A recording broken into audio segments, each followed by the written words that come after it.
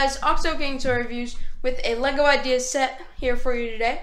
This is the LEGO Pirates of Barracuda Bay. So you can see this is giant here. 16 plus. This is set, or it's 416 plus. This is set 21322.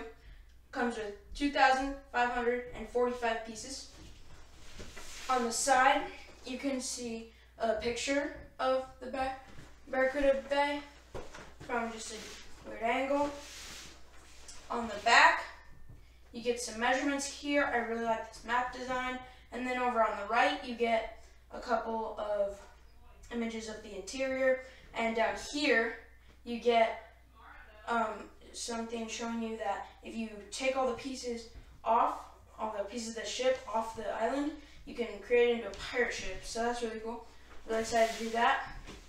On the other side is what I'm guessing Pirates of Barracuda Bay in some different languages.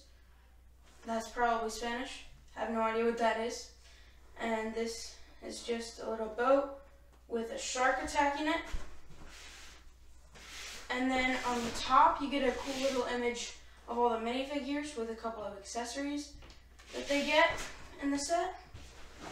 And then on the bottom, nothing special. But let's get into this huge set. So I'm gonna turn it this way. And I'll open it from the other side. I don't know, sometimes I like to open my Lego sets from different sides. So, getting that open, this does have three pieces of tape on it.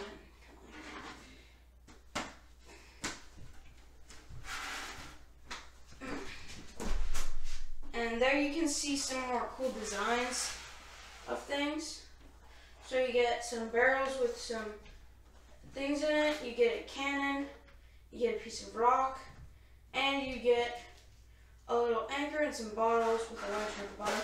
Opening this up, you do get a white box to start off with. Doesn't seem like there's really much interesting going on there just a white box. And then you get probably quite a few bags in here. So it makes sense to get these all out.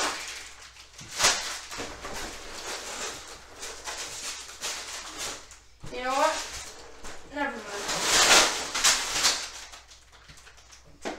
Well, now I gotta get those fast. So I'll catch you in a second.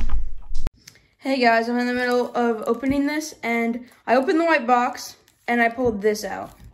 These are all the sails and what they do is they put them against this cardboard back to keep them from getting bent.